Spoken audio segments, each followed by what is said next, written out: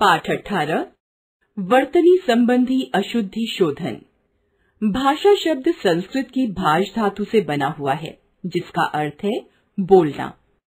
हम मुँह से जो भी ध्वनि निकालते हैं, वह भाषा नहीं कहलाती, क्योंकि सार्थक ध्वनियों के उच्चारण को ही भाषा कहते हैं।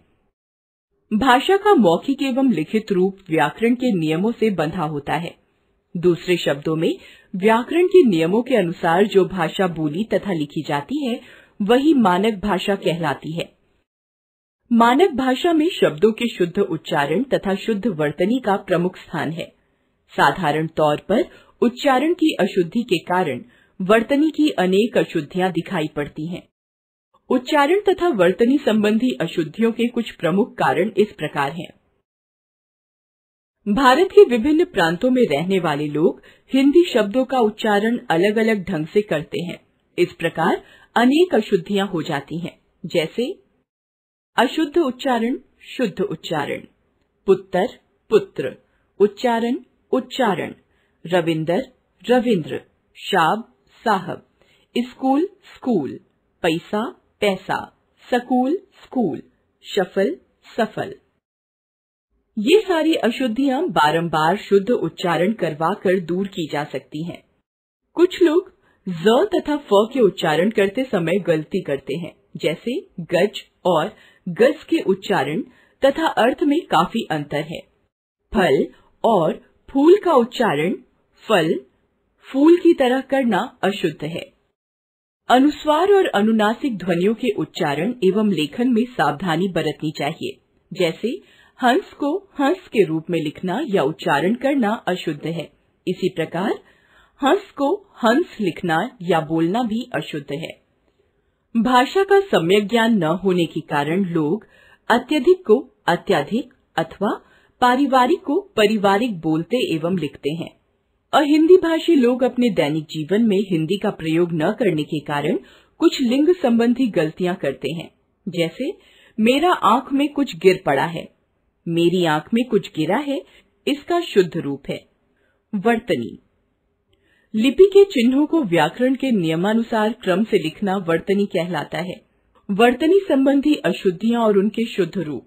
स्वर संबंधी अशुद्धियाँ। अशुद्ध, शुद्ध। आकाश आकाश। आधीन, अधीन। अत्यधिक अत्यधिक। कवि कवि। कृति कृति। परीक्षा परीक्षा। मुनि मुनि। रिवाज रिवाज। क्योंकि क्योंकि। आँसू आँसू। आलोचना आलोचना, साप्ताहिक साप्ताहिक ऐतिहासिक ऐतिहासिक, अतिथि अतिथि। अनुस्वार अनुनासिक संबंधी अशुद्धियाँ, अशुद्ध, शुद्ध, गूंज गूंज, बाँस बाँस, माँ माँ, अंगूठी अंगूठी, अंगूर अंगूर, अंबा अंबा, मांस मांस, कुआँ कुआँ। गंगा गंगा, अंकुर अंकुर। विसर्ग संबंधी अशुद्धियाँ। अशुद्ध, शुद्ध। प्रात, प्रातः। अधोपतन, अधपतन। अतः एव अतएव निसंदेह निसंदेह निसंदेह। व्यंजन संबंधी अशुद्धियाँ। अशुद्ध, शुद्ध। सड़क सड़क पढ़ाई पढ़ाई। चढ़ चढ़। इकट्ठा इकट्ठा। ऋचा ऋचा, प्रणाम प्रणाम। ऋतु ऋतु, मेंढक, मेढक, गाड़ी गाड़ी, कार्यक्रम कार्यक्रम। संरपक, संपर्क, ब्रह्मा ब्रह्मा, बुद्धि बुद्धि, जमुना, यमुना, परीक्षा परीक्षा, लक्ष्मण लक्ष्मण, किरण किरण, प्राकृति, प्रकृति, रानी रानी, यज्ञ यज्ञ। अमानक रूप संबंधी अशुद्धियाँ। अशुद्ध, शुद्ध। कुत्ता कुत्ता, ब्राह्मण ब्राह्मण, पक, पक्का, मिट्टी मिट्टी। उद्धार उद्धार, विद्वान विद्वान। पत्ता पत्ता, ब्रह्मा ब्रह्मा। लट्टू लट्टू, द्वितीय द्वितीय। विद्या विद्या। बुद्धि बुद्धि। कुछ अन्य अशुद्धियाँ? अशुद्ध, शुद्ध।